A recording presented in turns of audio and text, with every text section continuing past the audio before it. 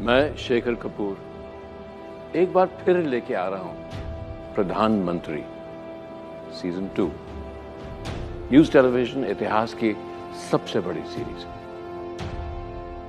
इस वक्त एक बड़ी खबर आ रही है, पीएम के पूर्व प्रमुख सचिव। नृपेंद्र मिश्रा को नई ज़िम्मेदारी दी गई है। नृपेंद्र मिश्रा अब नेहरू मेमोरियल के चेयरमैन होंगे। वहीं प्रसार भारती के chairman doctor A Surya vice chairman होंगे। इस वक्त ये बड़ी खबर आ रही है। आशीष कुमार सिंह एबीपी न्यूज़ संवाददाता और जानकारी के साथ जुड़ गए हैं। आशीष, बताइए।